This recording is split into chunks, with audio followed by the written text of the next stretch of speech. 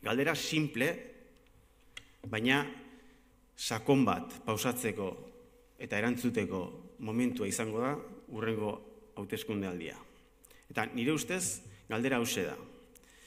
Nahi dugun herri honek jarraiezan inertzian, gainbera garamatzan inertzia baten, ala nahi dugun erregenerazio politiko bati ekin. Dekadentzia ala ambizioa. Hori da urrengo hauteskundetan jokoan egongo den dilema. Eta gure ustez, eta nire ustez, gauden lekuan jarraitzea ez da aukera bat. Berdina egiten jarraitzea ez da aukera bat. Eta Araba Bizkaia eta Gipuzkoako politika instituzionalak behar du puntu eta aparte bat egin. Gero eta gehiago dira herritarrak hori eskatzen dutenak. Geroz eta gehiago da erregenerazio politiko baterako aldarria, edo horren aldeko demanda.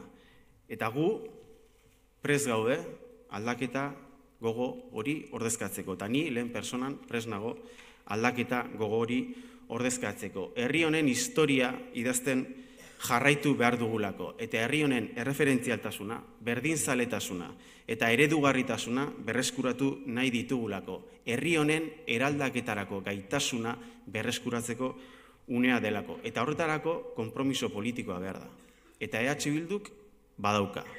Eta ni ziur naiz, datozen hilabetetan, posible egingo dugula martxan den ziklo aldaketa atzera ezina bihutza. Eta hori denon artean egingo dugu datozen hilabetetan. Ziur naiz, datozen hilabetetan posible egingo dugula martxan den ziklo aldaketa atzera ezina egitea.